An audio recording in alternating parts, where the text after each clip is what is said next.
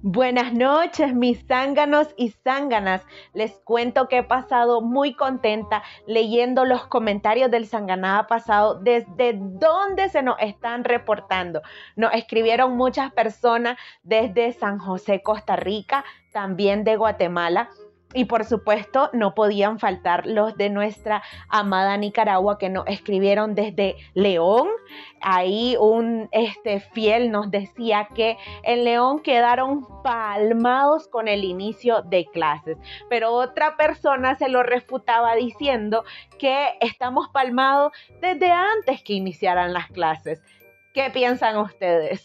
También nos mandaron saludos desde Bonanza, Matagalpa, San Ramón y New York. De verdad, muchas gracias por informarse de las sanganadas que pasan en Nicaragua con nosotros.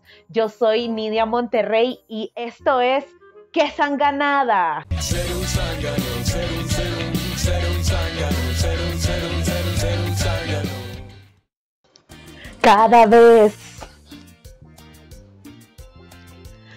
cada vez que escucho al bache hablar. Mi cabeza se enloquece y me dan muchas náuseas. Lo que pregona no lo razona, solo le falta rebuznar. Pues sí, mi gente, solo le falta rebuznar ¿No ven que ahora salió diciendo que Nicaragua necesita su propia arma atómica? Así como lo oyen, arma atómica. ¿Y qué más atómico que él y la Chayo que tienen a Nicaragua sumergida en tanta desgracia, pobreza y muertes? La cosa es que el dictador Daniel Ortega se reunió con el canciller iraní Hossein Amir y así como que el que no llora no mama, le empezó a decir que Nicaragua debería tener su propia arma atómica para defenderse de los yanquis y que los yanquis empiecen a respetar a los nicaragüenses. También dijo pues que cada país debería tener su propia arma atómica para evitar que Estados Unidos lleve a cabo su plan de expandirse. Pasando a otras sanganadas, ya ni los sacerdotes quieren quedarse en Nicaragua. Pues claro, no los culpo. Si ellos se comprometen con la verdad y de estar del lado del pueblo excepto el cardenal Leopoldo Brenes, que no se ha pronunciado con firmeza ante esta dictadura con todos los atropellos que está sufriendo la Iglesia Católica. La cuestión es que muchos de los sacerdotes ordenados solicitaron, por favor, salir de Nicaragua. En otras noticias, siguen los chanchullos y los movimientos internos dentro de la dictadura, que no sabremos cómo son porque credibilidad tienen cero.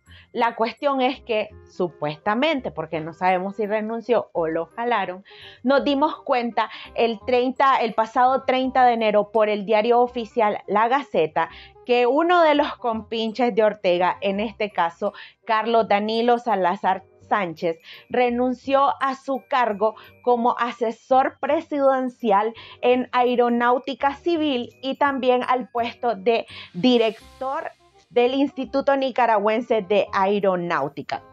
Esto se informó sin dar mayor explicaciones. Lo raro es que ya sabemos lo paranoico que son y cómo andan de cuidadosos con los despidos y las renuncias. Por eso esto nos deja muchas más dudas. Ya para ir terminando con las sanganadas, resulta que la alcaldía habilitó un canal de WhatsApp para que los ciudadanos puedan denunciar a las personas que estén botando basura en la vía pública. Esto con el fin de eh, mitigar o de desaparecer todos esos basureros y botaderos ilegales yo les sugiero que empiecen a denunciar el basurero del Carmen, que aunque la campaña está pues todo tuani, si empiezan por limpiar ese basurero, quedan al 100 con todita Nicaragua. Bueno, mis zánganos, yo con esto me despido, recordándoles que nos dejen en los comentarios su valiosa opinión y por supuesto que mencionen los lugares de donde nos están viendo. No se vayan sin compartir y darle like a este video. Hasta la próxima.